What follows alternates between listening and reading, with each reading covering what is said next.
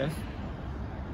Well, we're coming to you from the finish line of the Bishop's Marathon here in Washington, D.C., and I have two uh, very achieved runners here, Tony McDonnell, consecrated man, Regnum Christi, and Father Michael Sliney, Legionaries of Christ, who uh, they both finished with a Boston Marathon qualifying time. All right. Uh, Woo!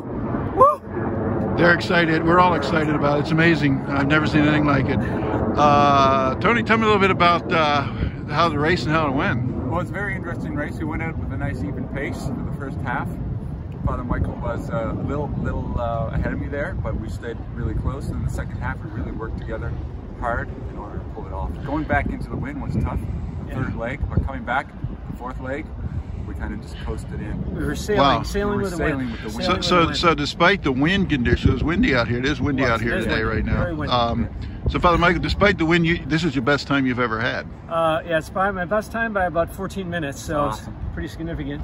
I want, I want to owe that to Tony. Uh, he pushed me harder than I thought I could go. And what really helped us is we were thinking about vocations. That's right. Tony was reminding me about that at mile 20, 22, 23. And if you have a motivation to run, you can dig a little deeper. It's about the heart. You got to dig deep with the heart. That's So, right. very Why, grateful. why we do things is so important, right? Having a Yeah. purpose in life and having a purpose. It's not about the medal.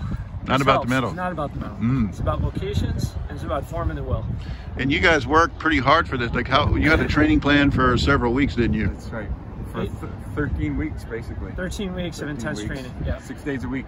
And you, you know, did you what, what kept you going through all that drudgery, Vocations.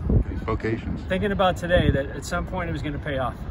And what Yeah. makes you think vocations are so valuable? Well, you know, we know that the priesthood is really the key to keeping the church going. And we're moving on. And we need someone to pass the torch, the torch to. We need someone who can celebrate Mass, hear confessions, inspire people.